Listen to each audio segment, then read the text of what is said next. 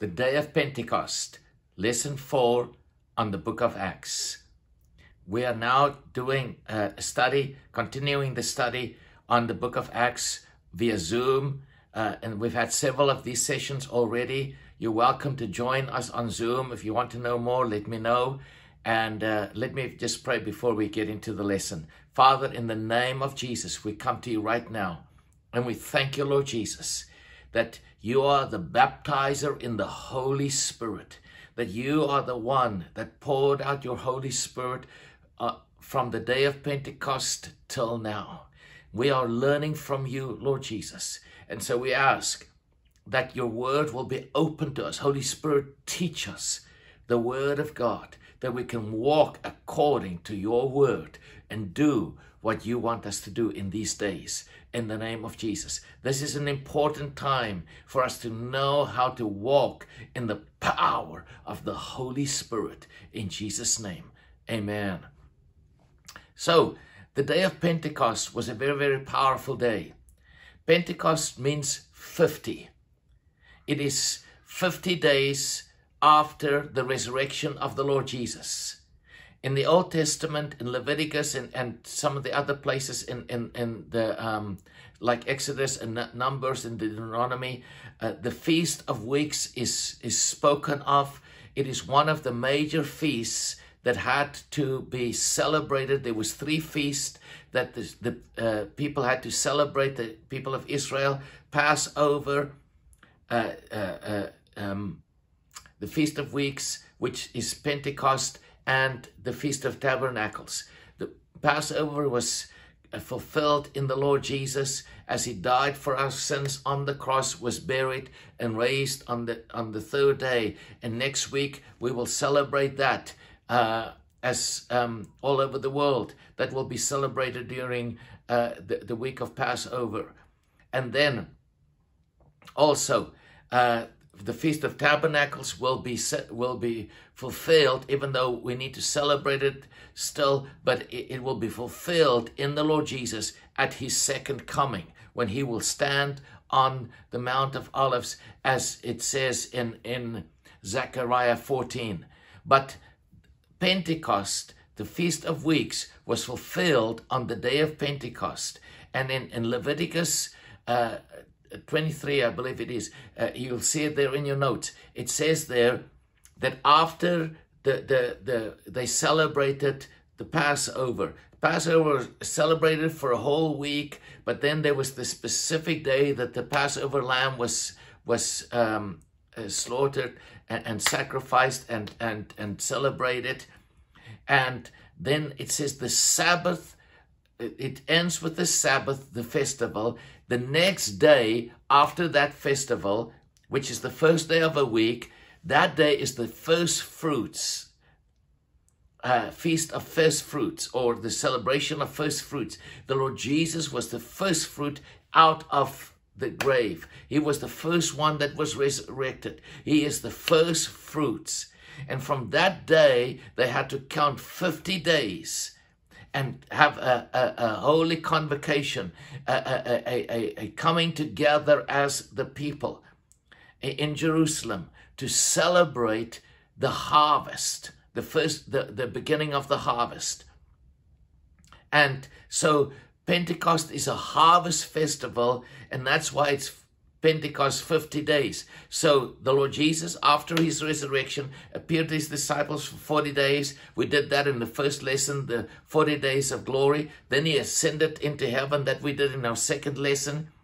Uh, on the ascension, how the Lord Jesus ascended to heaven, and uh, now, and then we looked at at at what the Lord Jesus said about the Comforter that will come on the day of Pentecost, and now the day of Pentecost is upon them in the book of Acts and is being fulfilled. That prophecy.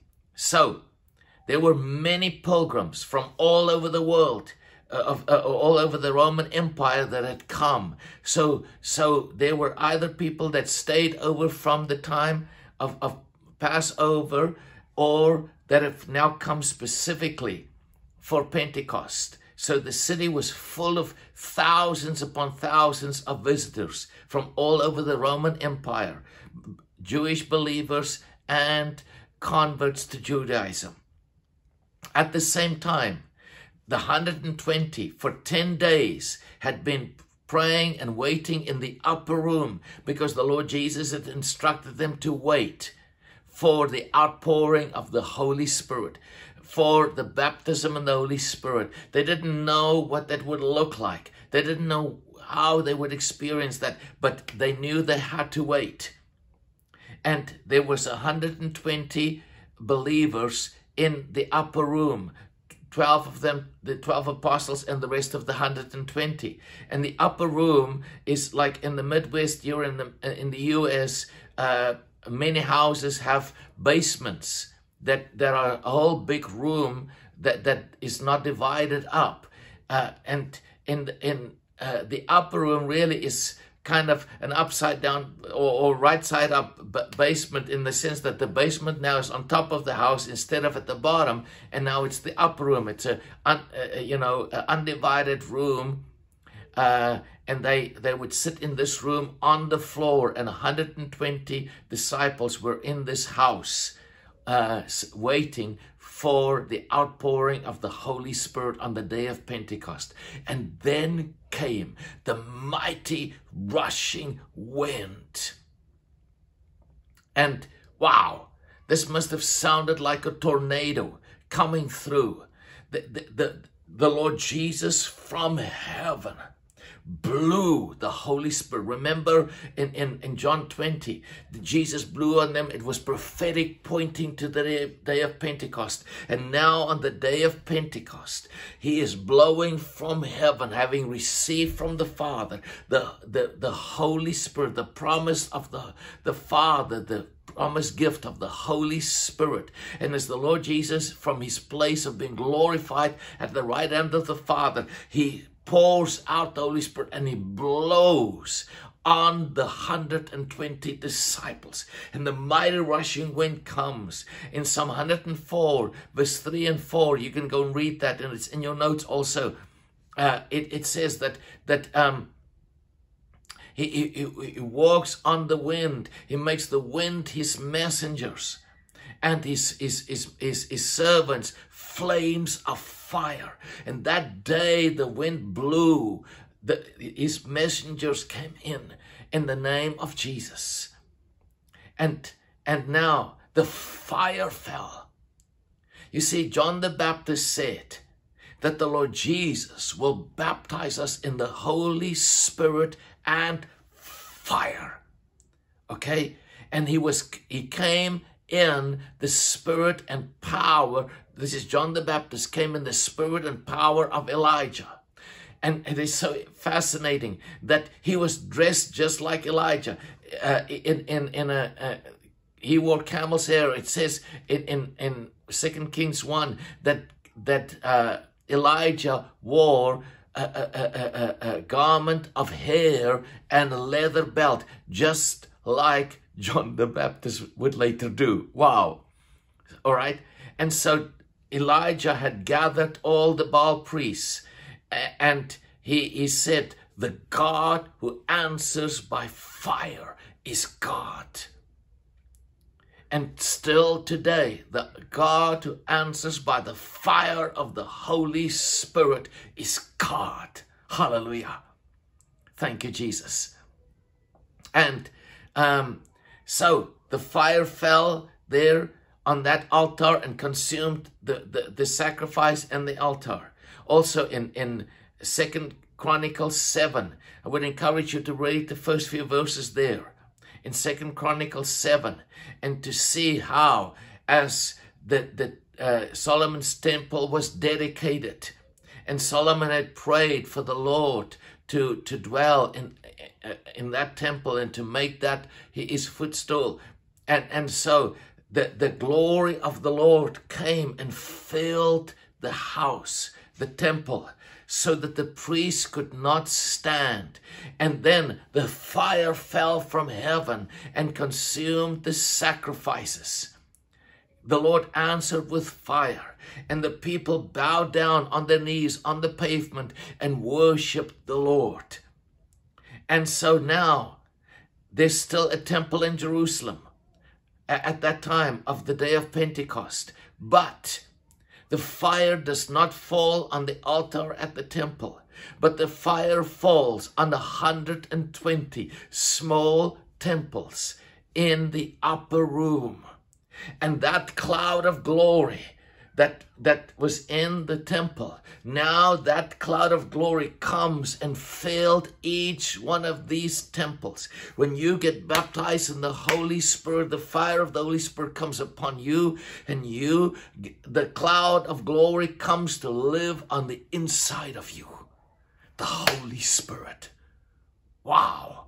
Hallelujah. That is so powerful.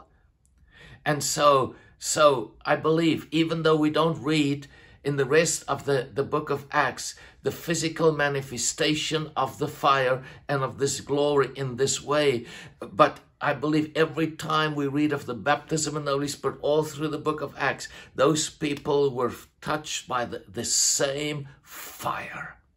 Even though it was not physically evident, it spiritually definitely was.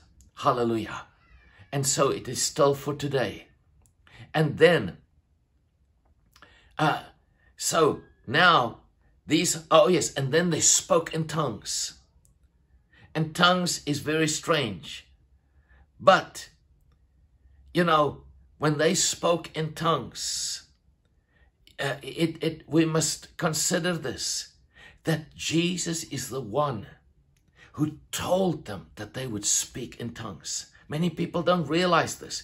But in Mark 16, verse 17, Jesus said, These signs will follow those who believe. In my name, in the name of Jesus, they will drive out evil spirits and they will speak in tongues. It is in the same conversation as when Jesus told them, You will receive power. Acts 1 8, you will receive power when the Holy Spirit comes upon you, and you will be my witnesses. It's in the same conversation that Jesus, right before he ascended to heaven, that he tells them this, that they will speak in tongues. And so on the day of Pentecost, those words of Jesus started to be fulfilled. And from that time on, whenever the Holy Spirit would come upon people, they would start to speak in tongues, just as Jesus said. Hallelujah. Now, the 120 is in the upper room as the Holy Spirit is falling. It is nine o'clock in the morning. The pilgrims are on their way to the Temple Mount because They've come for the festival. And this is the day of the feast, the main day of the feast. They are all at, at that time, because it's the time of, the of prayer and of the sacrifices. They're on their way to the Temple Mount. And on the south side of the Temple Mount, there was uh, uh, Herod had extended the Temple Mount, and that's why you have these huge walls that still are standing there today. That is not the temple. That is just the Temple Mount. The temple was built on top of that uh, um, uh, uh, mountain. Uh, and he, Herod had extended it because of all the pilgrims. And he had built these uh, walls, and then they were uh, from underneath on the south side. There were do doorways open and steps leading inside through tunnels up to the Temple Mount. And in front of that uh, wall on the south side, there was a set of steps that people would climb up to get to the gates where they would enter. And in front of those, those stairs, there was a plaza that Herod had made. Um, and then from there is the stepped path down to the um, the pool of Siloam that last year uh, on the 4th of July, 4th of July was um, opened up and, and, and made known to the public that they had, had, had found it again. Now it's in a tunnel because, the, you know, since then many things have been built over it. But that, that those steps are there all the way down to the pool of Siloam. So the people, the pilgrims would have uh, done their ceremonial washing at the pool of Siloam and they would have walked up to the, uh, those steps and from all sides where they would have had their ceremonial washings in, in, in mikvahs, they would have come to the Temple Mount.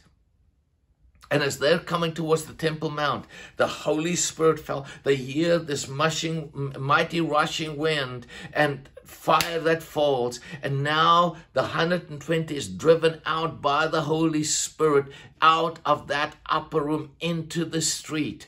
And now see these exuberant, ecstatic uh, uh, uh, believers, full, just freshly baptized in the Holy Spirit, running, maybe with their hands in the air, shaking, babbling in tongues, just exuberantly, ecstatically, with joy running towards that the, the Temple Mount, running towards that plaza.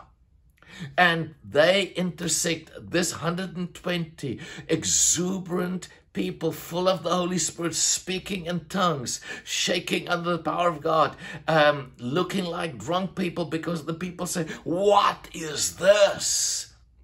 What meaneth this? They were amazed. This is where they intersect with the crowd, and the crowd is stunned by these people. What is going on here? And Peter goes and stands on those steps. And that's when he addresses the crowd. And he has to, to address them first by telling them these people are not drunk as you suppose. Because obviously they were acting very, very strange. Okay? And still today, when people get baptized in the Holy Spirit, sometimes the Holy Spirit does strange things to people.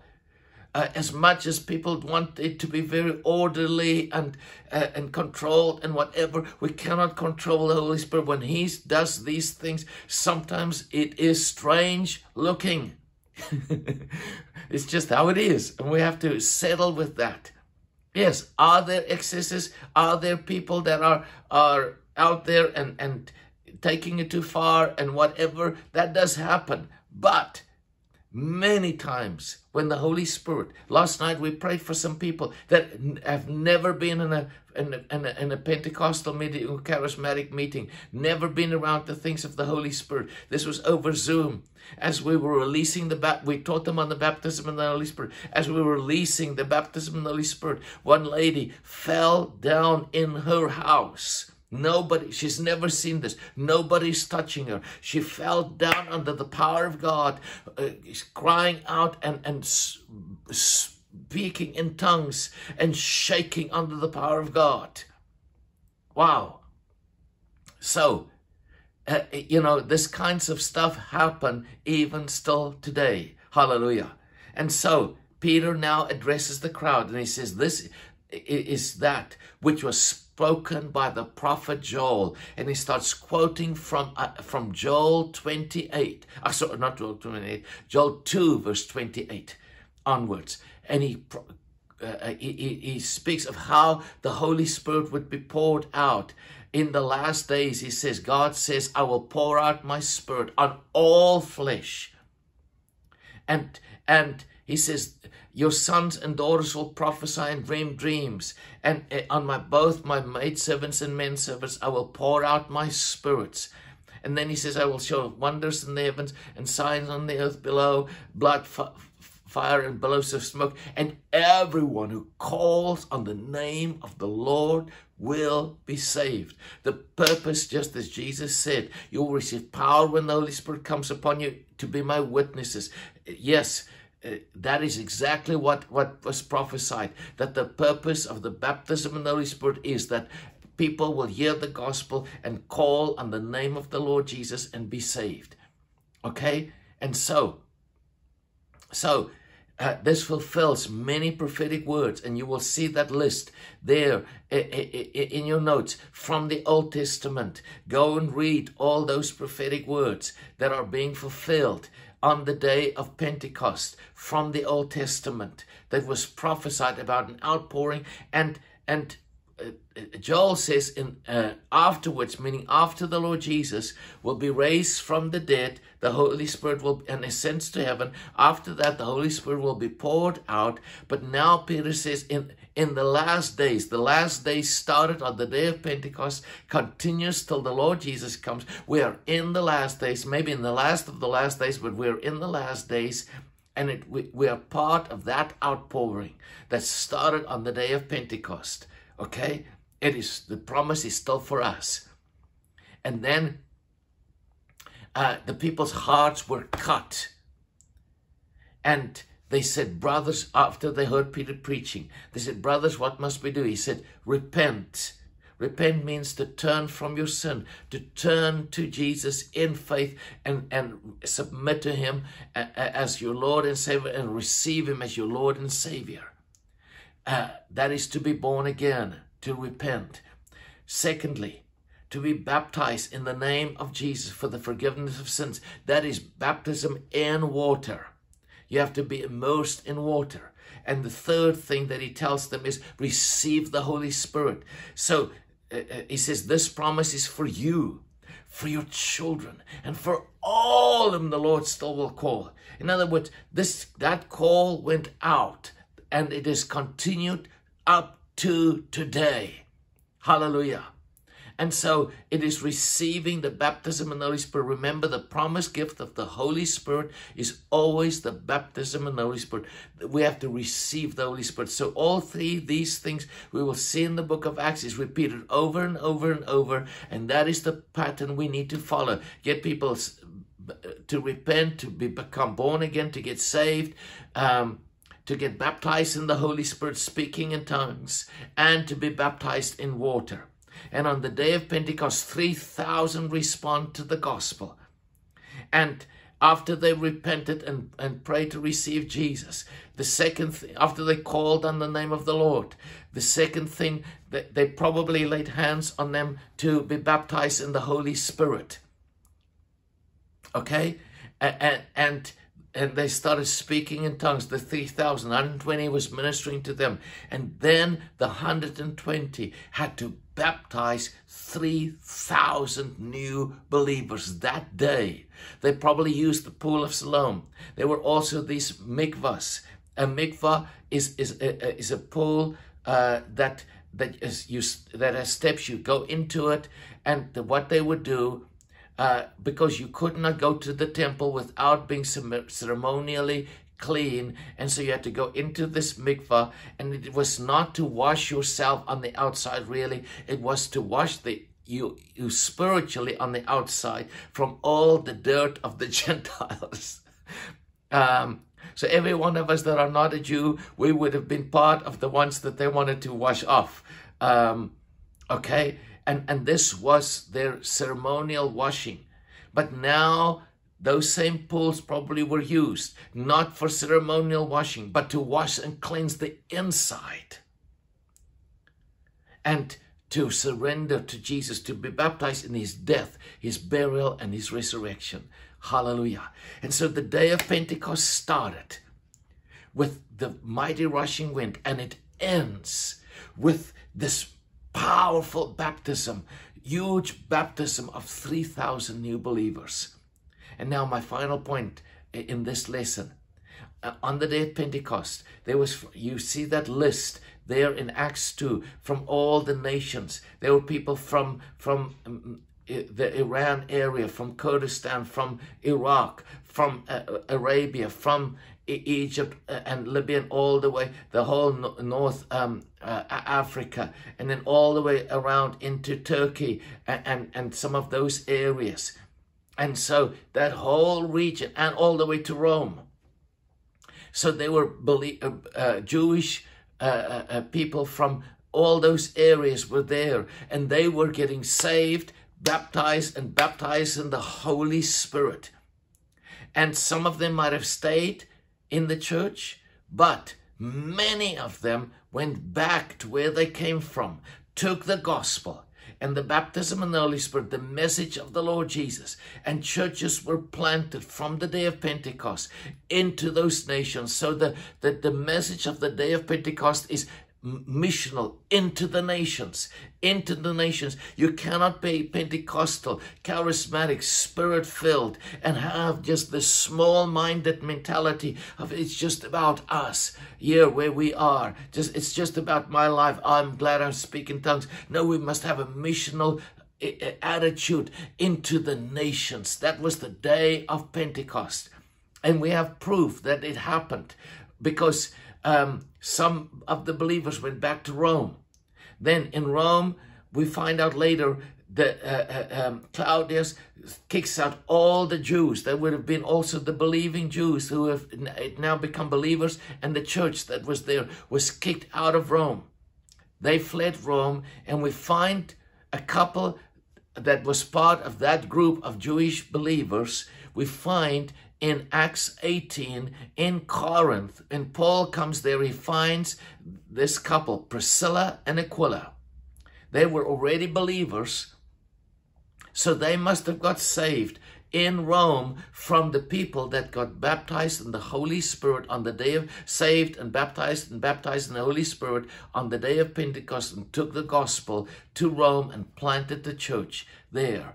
And so Priscilla and Aquila becomes one, one of Paul's apostolic team. They go with Paul to Ephesus. They plant the house church there in Ephesus. And then later on, Paul sends them with a team back to Rome and, and to go and plant the church in Rome. And he, he writes the letter to the Romans to that a church that Priscilla and Aquila went back to start again. And so, yes, it's into the nations. And so let me pray for you that what happened on the day of Pentecost, that we will walk in the fire of Pentecost. Father, in the name of Jesus, I pray for everyone watching this video and going through this study that they will be be touched by the fire of the Holy Spirit, that in their house right now, wherever they are watching this, that the fire of the Holy Spirit will fall upon them, and that they will be touched by the fire of Pentecost, that the wind of the Spirit will come upon them, that you will blow on them, Holy uh, Lord Jesus, and that they will be filled with the cloud of glory on the out inside. And when when this time of of of, of uh, lockdown for the coronavirus is over that they will be th thrown out of their upper room in the name of Jesus into the streets into their community to proclaim the gospel with power and into the nations in the name of Jesus and so we thank you for this. In Jesus' name, we give you all the glory, Lord Jesus. Baptize people, teach us, and thank you, Holy Spirit. In Jesus' name, amen.